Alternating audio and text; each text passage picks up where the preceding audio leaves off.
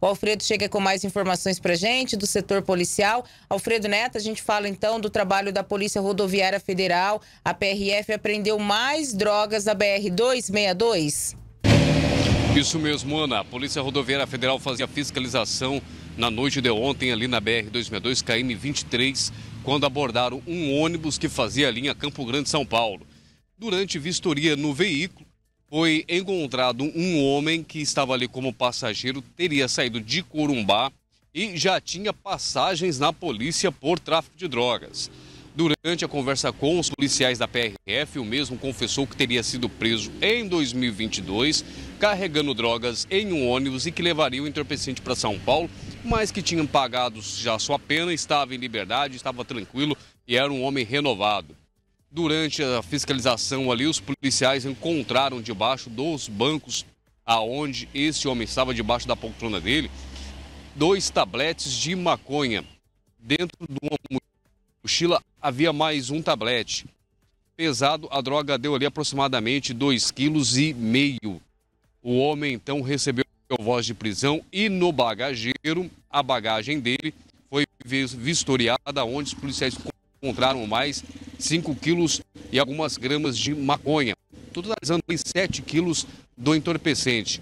O homem recebeu voz de prisão, foi levado para a DEPAC, Delegacia de Pronto Atendimento Comunitário, aonde foi autuado em flagrante e posteriormente levado para o presídio de segurança média de Três Lagoas.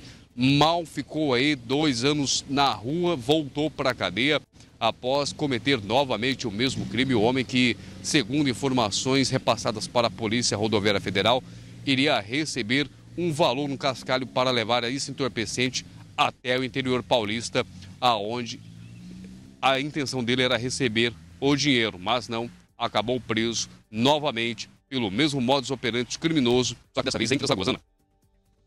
Exatamente, Alfredo. Bom trabalho aí da Polícia Rodoviária Federal. Mas, Alfredo, a gente fala agora de violência doméstica. Infelizmente, esses casos não param de acontecer. Infelizmente, mais um caso registrado neste final de semana aqui em Três Lagoas.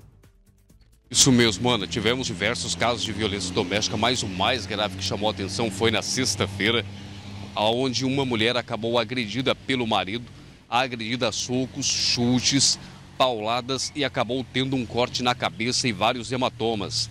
A polícia militar foi chamada para comparecer lá no Novo Oeste, no Orexim, aonde essa mulher estaria ensanguentada após ter sido agredida pelo companheiro. A viatura de rádio patrulha foi até o local, conseguiu fazer a detenção do homem.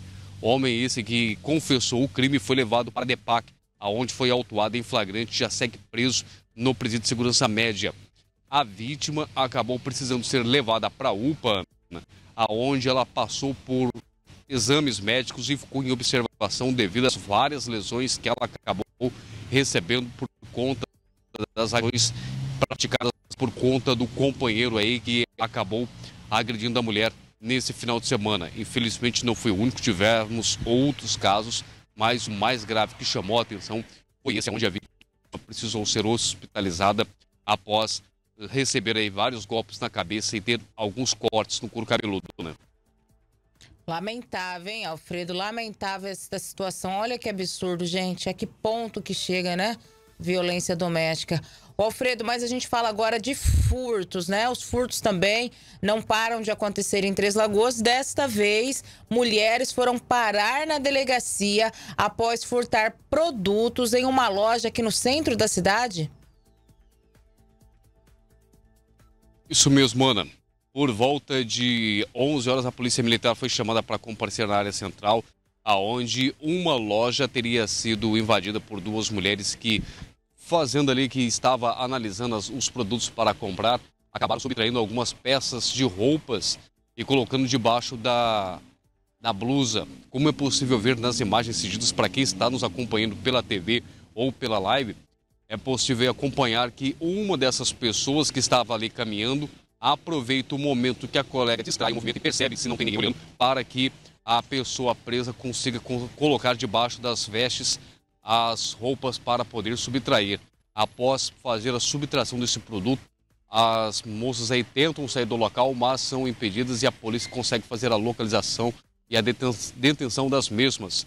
Uma das mulheres foi presa por furto qualificado e segue presa no presídio de segurança feminino de Três Lagoas. A outra vai responder em liberdade e vai ter que recorrer à justiça aí para provar que não teria praticado o crime, apesar das imagens mostrar que a mesma estava ali olhando a colega fazer o ato criminoso e se divertindo, dando risada, enquanto a loja era furtada e a colega subtraía os produtos a qual as ambas imaginavam ter levado sorte em furtar mais uma loja na área central, Ana.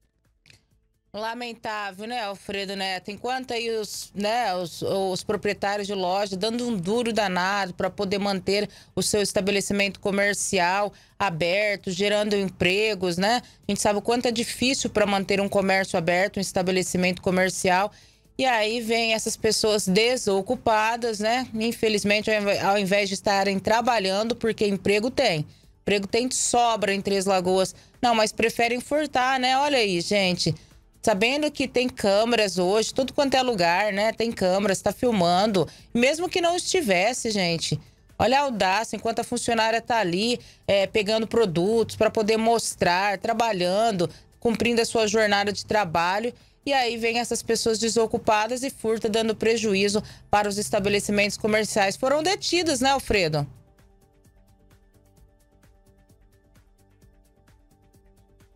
Uma seguiu presa em flagrante por conta de ter sido a agente ativa da situação.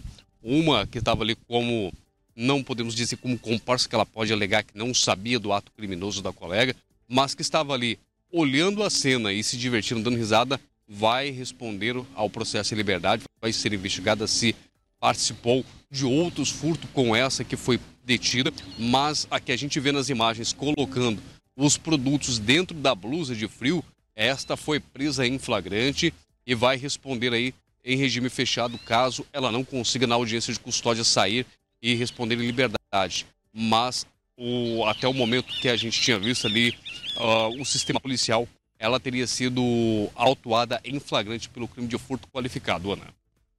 Lamentável. Obrigada, viu, Alfredo, pela tua participação.